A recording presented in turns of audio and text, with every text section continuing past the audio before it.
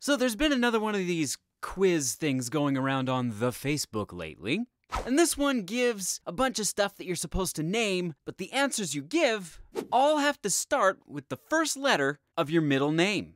It'll make ah. sense as we go. All right, so my middle name starts with a V. My middle name is Vern.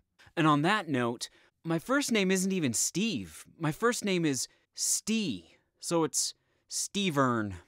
Okay, none of that is true. It's all an inside joke. To the two people out there who get it, never mind because they don't watch these videos anyway. Okay, so what could I wear that starts with the letter V? A vest. What could I drink that begins with the letter V? Uh, vegetable juice. Ah, there we go. I was gonna go for the more obvious Russian answer, but I don't know if YouTube would like that. Place! Where's a place you could go that starts with a V? Uh, Venezuela, I guess? Where's a restaurant you could go to that starts with the letter V? Um, I'm gonna cop out and say a vegan restaurant, because I don't know of any restaurants that begin with the letter V. An animal! Well, a vulture. Okay, that's more like a raven or crow sound. I don't know. What sound does a vulture make? A girl's name. How about Vanessa? A boy's name. Vincent. A profession that starts with the letter V. Well, veterinarian is super obvious, so I'm gonna go with v- plumber. Let's go. A word to describe someone. Very stupid. Something in your home that begins with V. Oh, a vent. you know, like a furnace vent. Do it. Body parts that begin with V. Well, that's not only obvious, but it's also really awkward. Vertebrae. What did you think I was to say? And then it says middle name.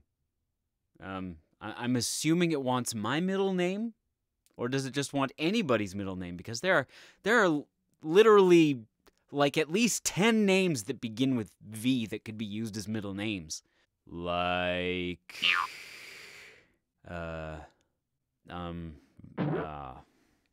Well, there are lots of them, probably. Uh, Valentino, let's go with Valentino. Or Valentina, whatever you want. Good fun. Okay, well, that went really quick. So I'm gonna share something else with you here. Something that was too short to make a video on all its own. So we'll put it here. Early in November, I went on a men's retreat out to the Chateau Lake Louise. Beautiful place. It's like the most picturesque mountain escape you could you could possibly think of.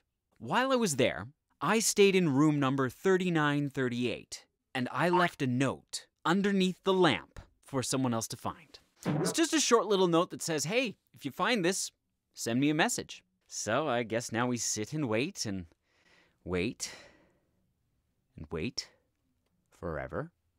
Although, of course, what probably actually happened is the cleaning staff probably came in and was like, oh, look, someone left another one of these notes saying to send them a message. Then they probably burned it. But either way, if you go to Chateau Lake Louise and you happen to stay in room number 3938, look under the lamp, because then you can send me a message. I mean, I guess you already could, but hey, that is provided whoever gets the message can actually read my writing. I have horrible writing.